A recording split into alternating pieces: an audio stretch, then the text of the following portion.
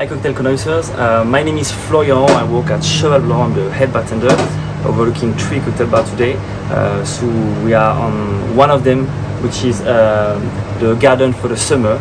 Um, today we're gonna see the second cocktail that we propose uh, at Cheval Blanc, which is the expression millésimée, which we call uh, vintage expression.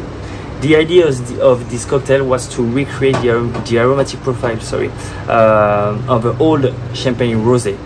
So for this, uh, we've been tasting many uh, champagne in order to understand the profile of an old champagne uh, on a rosé part, and we walk around it. So you have different elements right there that we uh, combine to create the liquor that is here. Uh, so we started with um, strawberry jam uh, gin. So everything is infused with it here to have a better consistency. You have a wood vodka that we make. You have saffron, curry, and cep mushroom uh, tincture that's going to bring uh, oriental dimension and bring some complexity into the liquor and to be uh, sure that we um, that we put the champagne first because that's really the idea of the Kir Royal not to be on something that's sweet or uh, has a lack of acidity um, we we work uh, with different tincture uh, and solution which is salt and acidity, which is very important.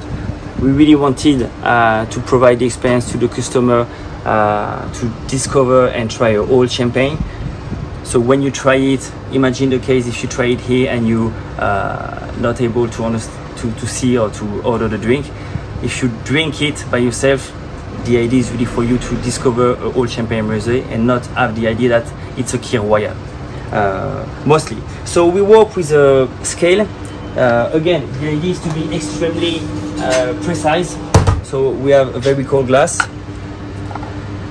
We work with uh, Moët et Chandon uh, because it's part of the house LVMH and Cheval Blanc. Uh, but the Brut Imperial because we needed uh, a champagne very classic for us to work uh, better with the liquor.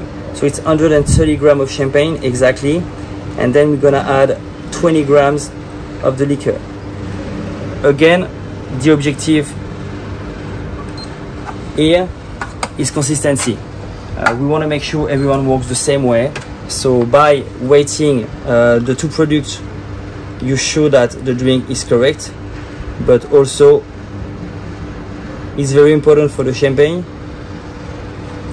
because you're not going to break the bubble in this case as we talk about the old champagne uh, what makes sense is that you have less bubble than a brut champagne, I would say. So we come quickly break the bubbles to again trying to uh, replicate um, a classic old champagne rosé. Here you go. Enjoy.